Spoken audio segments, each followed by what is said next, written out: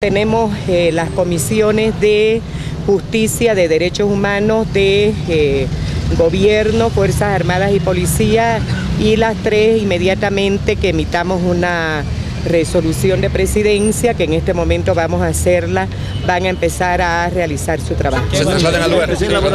Eh, verán, eh, verán ellos cuáles las primeras acciones que tienen que hacer desde la visita y atención a heridos, desde si van a trasladarse em, en coordinación con otros órganos de Estado o ya vamos a conocer el plan que nos presenten. ¿no?